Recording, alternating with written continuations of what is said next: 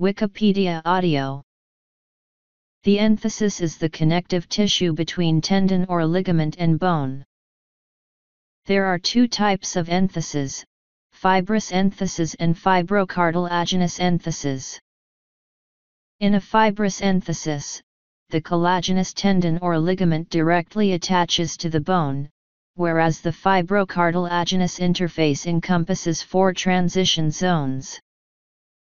Clinical significance A disease of the enthesis is known as an enthesopathy or enthesitis.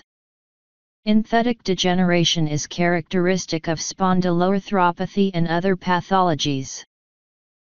The enthesis is the primary site of disease in ankylosing spondylitis. Entheses are widely recorded in the field of bioarchaeology where the presence of anomalies at these sites, called entheseal changes, has been used to infer repetitive loading to study the division of labor in past populations. Several different recording methods have been proposed to record the variety of changes seen at these sites. However, research has shown that, whichever recording method is used, entheseal changes occur more frequently in older individuals. Research demonstrates that diseases, such as ankylosing spondylitis and calcific tendinitis, also have to be taken into consideration. Enthesis is rooted in the ancient Greek word, nu theta epsilon sigma iota or enthesis, meaning putting in, or insertion.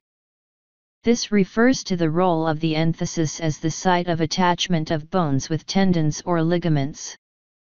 Relatedly, in muscle terminology, the insertion is the site of attachment at the end with predominant movement or action.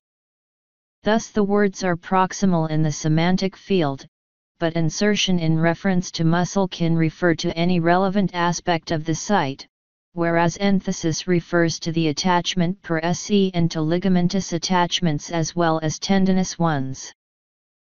Society and Culture Bioarchaeology History